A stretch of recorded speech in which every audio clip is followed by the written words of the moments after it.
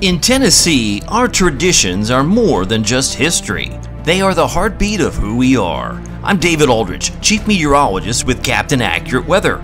From the timeless chimes of Ayres Hall to the iconic roar of Neyland Stadium, there's a spirit that weaves through every corner of this campus. The torch shines brightly, guiding our way forward.